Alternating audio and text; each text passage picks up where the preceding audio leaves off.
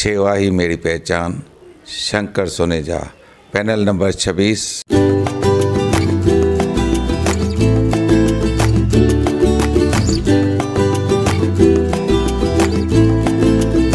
सेवा ही मेरी पहचान।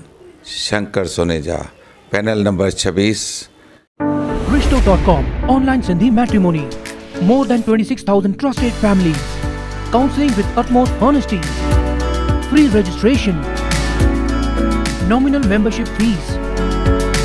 No commission after marriage.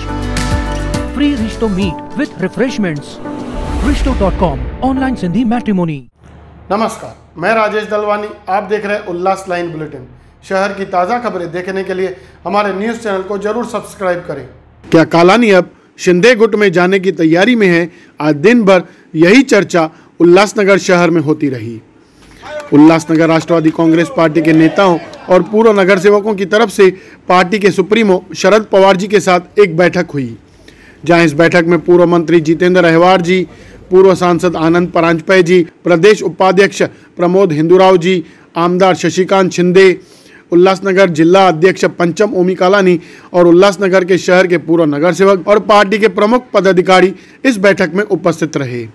इस बैठक के फ़ोटो और वीडियो सोशल मीडिया पर जमकर वायरल हुए, जहाँ बताया गया कि शरद पवार जी के साथ आज हुई बैठक में उल्लासनगर मनपा के होने वाले चुनाव को लेकर चर्चा की गई। पर सोशल मीडिया पर वायरल हुए वीडियोस और फ़ोटोज़ में न तो पप्पू कालानी दिखे और न ही ओमी कालानी, जिसे लेकर अब शहर के राजनीतिक गलियारों में चर्चा शुरू हो गई कि शायद पप्पू कालानी जी और ओमी कालानी जी अब शिंदे गुट में जाने की तैयारी कर रहे हैं।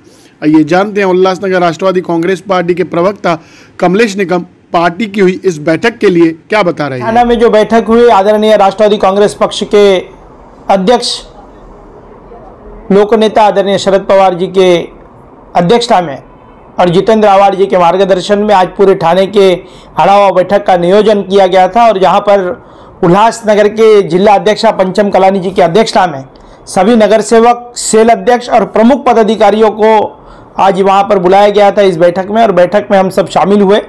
और शामिल होने के बाद में आदरणीय पवार साहब को बाईस नगर सेवकों के साथ में पंचम कलानी जी सभी हमारे नगर सेवकों ने वहाँ पर बताया कि किस तरीके से हमारी चुनाव के पहले पूर्व तैयारी चल रही है। हमारे सेल अध्यक्षों ने बताया कि हमारी कार्यकारिणी की किस प्रकार की आ, किस प्रकार से हम काम कर रहे हैं। हमारे जितने भी सेल के प्रमुख हैं उन्होंने अपना अपने ब्यौरा दिया कि उनके सेल के किस तरीके से अपने क्षेत्रों में, हर क्षेत्र में काम चल रहा है। व्यापारियों के अध्यक्षों ने बताया कि व्यापारी को उल्लासनगर ट्रेड एसोसिएशन का क्या काम चल रहा है, फोरम ऑफ़ मैन्युफैक्चर एसोसिएशन का क्या काम चल रहा है।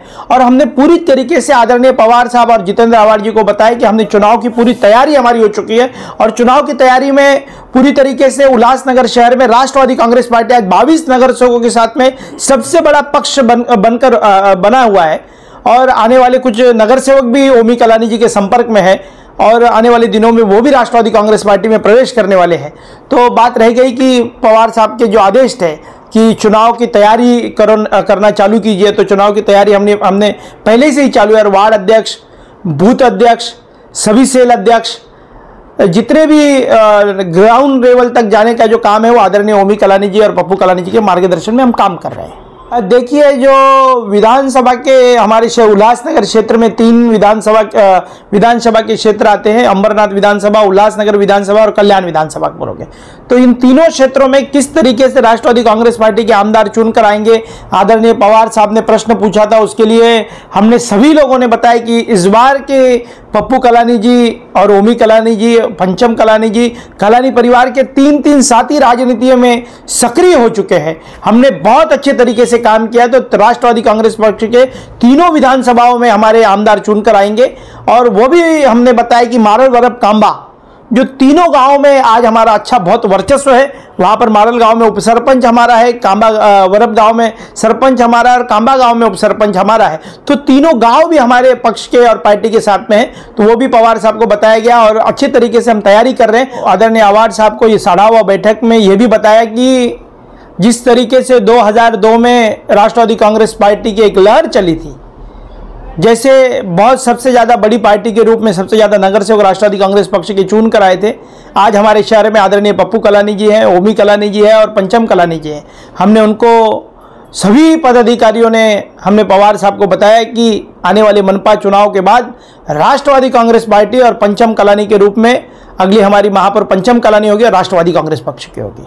हमने तीनों विधानसभाओं पर चर्चा की जहाँ पर उल्लासनगर विधानसभा पर चर्चा की, वहाँ पर 141 में जहाँ पर स्वर्गीय ज्योति कलानी जी चुनाव लड़े थे। और बहुत ही कम हज़ार एक वोट से हम वहाँ पर चुनाव हारे थे। और वो भी उनको बताया गया कि एक तरफ़ भारतीय जनता पार्टी साई पार्टी, शिवसेना और रिपब्लिकन पार्टी ऑफ़ इंडिया, ये सब लोगों ने मिलकर छः छः पार्टियाँ एकत्रित हो गए। और हमारे भी नगर सेवक राज्य की सरकार के दबाव में आकर हमको छोड़कर चले गए डर और भय के लिए। पर कालानी परिवार को देखकर लोगों ने विश्वास रखा, राष्ट्रवादी कांग्रेस पार्टी और परिवार के ऊपर, और हमको बहुत अच्छे वोट मिले, और चालीस हज़ार के आगे हमको वोट मिले, वो भी बताया गया। और पप्पू कलानी जी और ओमी कलानी जी का बहुत बड़ा वर्चस्व जो है, अंबरनाथ के विधानसभा क्षेत्र में भी है।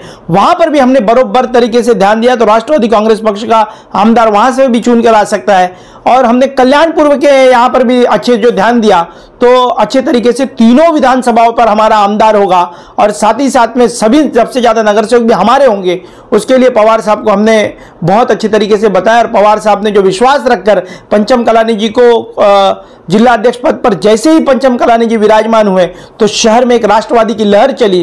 वो भी उनको बताया कि आज शहर में आप जाओगे, उल्लासनगर शहर में तो हर घर पर, हर दरवाजे पर कलानी परिवार पर विश्वास रखकर हर लोगों ने अपने अपने इच्छा से घड़ी के निशान लगाकर लोगों ने दर्शाया है कि हम राष्ट्रवादी के साथ में हम कलानी परिवार के साथ में हैं, इस शहर का कोई परिवर्तन और बदलाव ला सकता है तो कलानी परिवार के ऊपर विश्वास रखकर एक बार फिर ऐसे बदलाव लाने के लिए लोगों ने स्व इच्छा से अपने घरों पर घड़ी के प्रिंट करवाए और लोगों ने इच्छा ज़ाहिर की कि हमारा शहर कोई बदल सकता है, ये शहर को कोई बचा सकता है तो कलानी परिवार बचा सकता है। इसलिए पवार साहब को ये सब बातों के ऊपर हमने ध्यान आकर्षित करवाया। उल्लास लाइन बुलेटिन को सब्सक्राइब करें, बेल आइकॉन दबाएँ और देखिए लास्ट लाइन बुलेटिन की न्यूज़ सबसे पहले आपके मोबाइल पर।